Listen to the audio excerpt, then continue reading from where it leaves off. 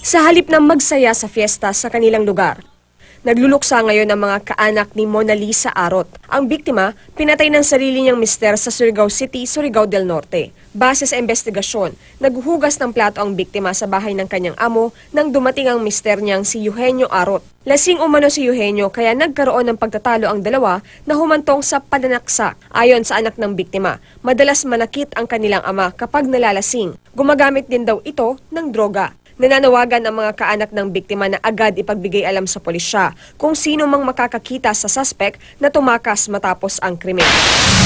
Karumal-dumal din ang sinapit ng isang batang babaeng tatlong taong gulang sa kamay ng sariling pinsan sa Kidapawan City.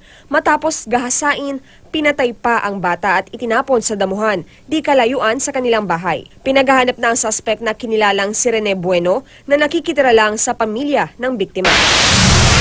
Wala ng buhay ng matagpuan sa ilalim ng dagat ang dayuhang scuba diver na si Andrew Kilbride sa Mabini, Batangas. Base sa police report, nag-scuba diving ang biktima noong Miyerkules kasama ang isang instructor nang bigla siyang mawala. Agad namang humingi ng tulong ang instructor para mahanap ang biktima, kaya nagkasa ng search and rescue operations. Nagtagal ng halos dalawang araw bago nahanap ang biktima. Victoria Tulad, GMA News.